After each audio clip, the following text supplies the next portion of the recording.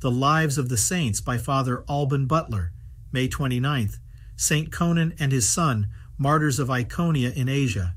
This faithful servant of Jesus Christ, after the death of his wife, lived in retirement with his son, whom he offered to the church, and who was made a lector asterisk at the age of twelve, and afterwards became a deacon. About this time, Domitian, an officer under the Emperor Aurelian, came to Iconia in order to execute the edict which that prince had issued against the Christians, and Conon and his son were among the first who were brought before him. The officer, moved with compassion for the venerable old man, asked him why he had chosen so severe and mortified a life. To which the saint replied, Those who live according to the spirit of the world are fond of pleasures and ease, but those who live according to the Spirit of God study to purchase the kingdom of heaven by pain and tribulation.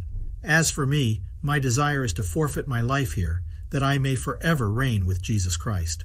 Whereupon both the father and son were ordered to be stretched on a burning gridiron, and afterwards to be hung up by the feet over a suffocating smoke.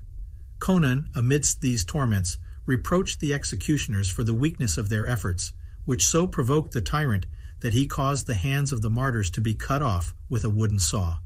Conon then said to him, Are you not ashamed to see two poor weak persons triumph over all your power?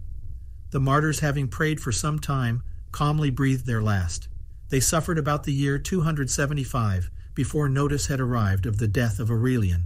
Their relics are kept in a church of their name at Acerra, near Naples, to which they were brought in the ninth age or later. St. Conon and his son are mentioned in the ancient martyrologies. See their acts, which, though not original, are nevertheless of great antiquity, and written with equal piety and simplicity. The Bollandists give them on the 29th of May.